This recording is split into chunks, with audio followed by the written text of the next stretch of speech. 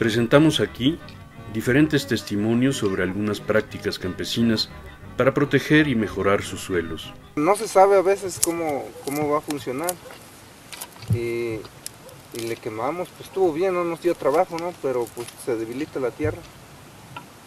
Y ahora mejor este así. Ahí que esté la hierba, yo creo que también la, le sirve de, de abono ahí que se, que se pudra. Puro orgánico. An- Antes la gente pues así se hacía, juntaba la cañuela toda esta y, y a quemarla.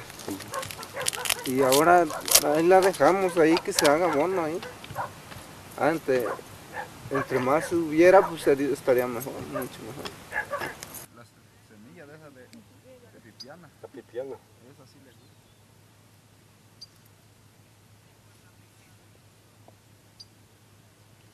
Y es mera comida, pues, el abono.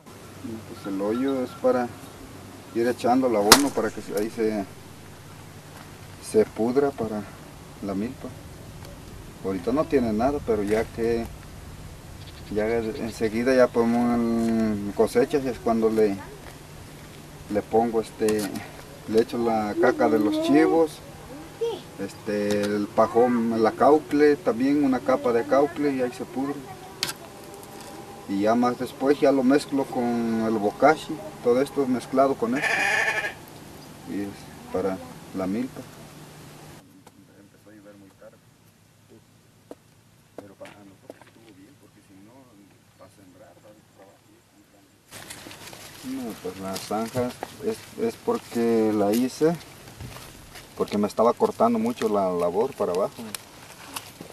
Y pues siempre al, sembrar, antes de que estuviera esta zanja, se cortaban los surcos, se llevaba el maíz, no salía parejo, no salía pareja la milpa.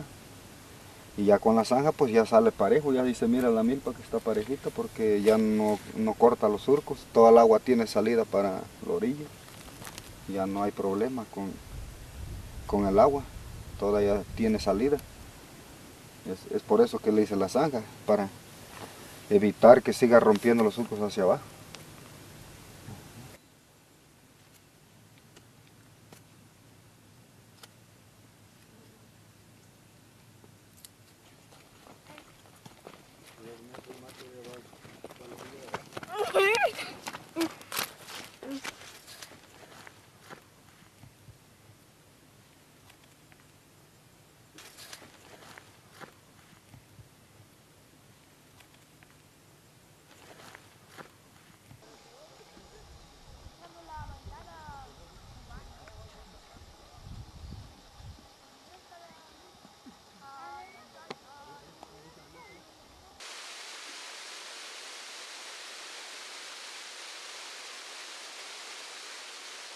Y, y cada año conforme me iba levantando más, poniéndole ramas como estribo, deteniéndola cada año que levantaba, iba, le seguía tirando más ramas y más, más piedra, basura, todo lo que traía, para, para poder emparejarla.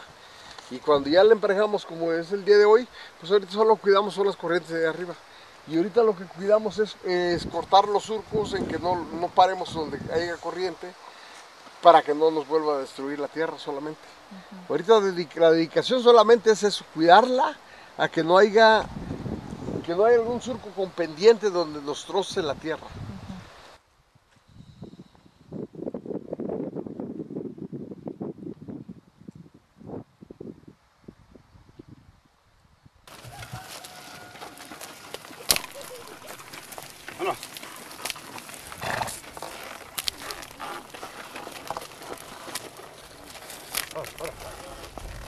Cada año le vamos cambiando la, la siembra. Un año siembro maíz. Si no le siembro más, le dejo que descanse. un año siembro, un año no. Si no echamos maíz, por ejemplo, ahorita vamos a echar frijol. Al próximo año le echamos maíz. Para ir cambiando. Dejarle la tierra que descanse algo, pues.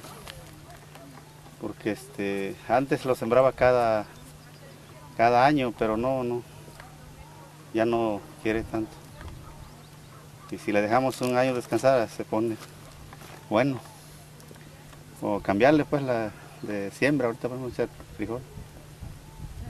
Así es.